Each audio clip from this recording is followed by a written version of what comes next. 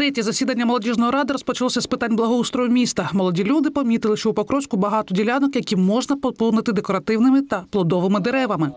Ну, ми об'їхали майже усе місто, і більш, найбільша частина зелених ділянок, які на нашу думку потребують озеленення, це мікрорайони: Лазурний, Сонячний е, і частично центр. Так, з ініціативи молодіжної ради та фінансової підтримці з боку керівників міста у різних районах Покровська з'явиться більше сотні платанів, катальб, горобин, павловні та різні плодові дерева. Переймаються представники активної молоді міста і виглядом мистецького простору Залізняк, який з'явився у сквері Соборному у 2018 році, і тривалий час був осередком арт-заходів.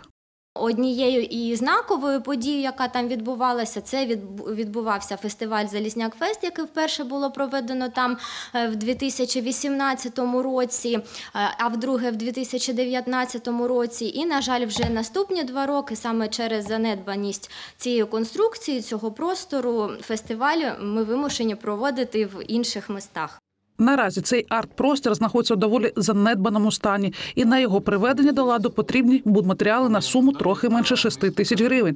І якщо з фінансами допоможе місцева влада чи меценати, молоді люди готові власноруч оновити мистецьку зону.